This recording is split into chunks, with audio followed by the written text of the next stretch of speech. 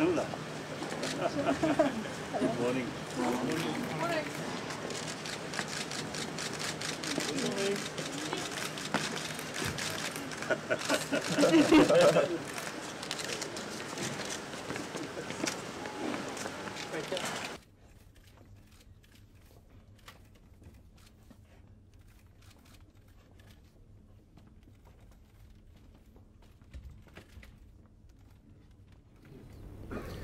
Your Holiness, what has the Nobel Prize meant to you?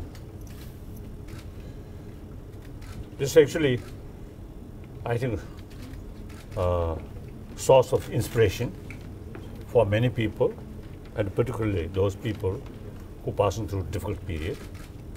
And then also, I think some kind of recognition, uh, great sort of significant contribution in different fields.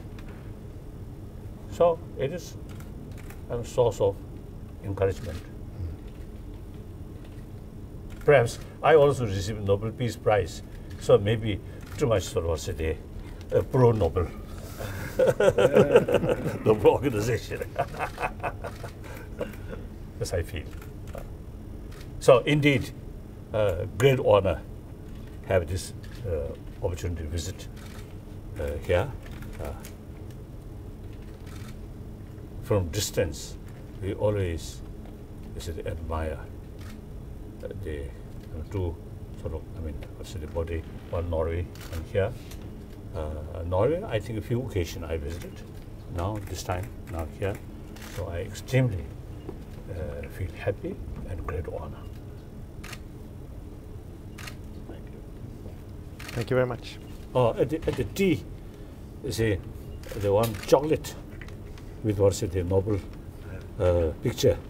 So I told them I want to keep that as a souvenir rather than consume. okay. Thank you very much, Your Holiness.